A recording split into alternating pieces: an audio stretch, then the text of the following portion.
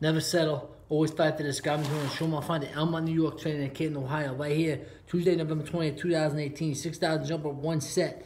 All right, that was from 8.55 in the morning to 9.33 in the morning. 5X fast one fast in 20, 20 seconds. Ball drills, uh, upper body, bike, sprints, run. Um, ladder drills, extra ladder drills. Might run those hundreds today, tomorrow. We'll see what happens with that one. Um, but like I said, get everything done day by day. Carve your name in hearts, not marble. Be leader to those who can't deny somebody dictate what you can and cannot do in this world. That negative noise, negative people, forget about that stuff. Be hungry and relentless. There's a lot of people that got in camps that get contracts somewhere that got a lot easier than you. Let them know you're coming every single day. Put in that work every single day in the heat and the snow and ice cold. That's what defines you as a person.